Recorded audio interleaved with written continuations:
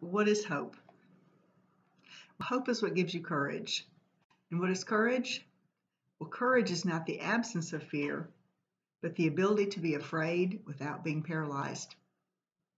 Sometimes we find ourselves in situations that feel hopeless, with no way out, and very dark. But my grandmother used to tell me, honey, the sun will come up tomorrow. Regardless of how hopeless you might feel right now, the sun will rise tomorrow, and so, so, so shall you. So rise up and look out the window. And that's God's promise to us a fresh new day.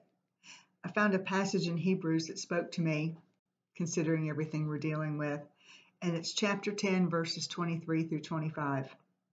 A call to persevere.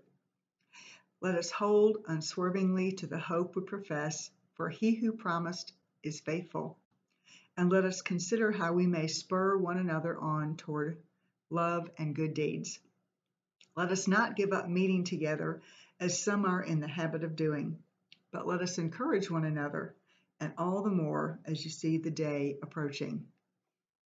And I also want to share with you this is one of my favorite books. Um, well, that's backwards, but it's called The Ignatian Adventure, and um, it's uh, what the Jesuits follow. Uh, it's, the, the spiritual exercises are from the man that started St. Ignatius that started the Jesuits.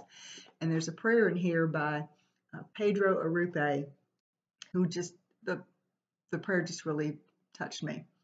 Uh, more than ever, I find myself in the hands of God.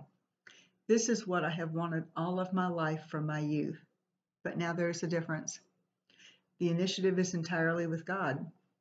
It is indeed a profound spiritual experience to know and feel myself so totally in God's hands. And that, my friends, is what hope gives us a peaceful knowing that we are always in God's hands and all will be well. I wish you a blessed day.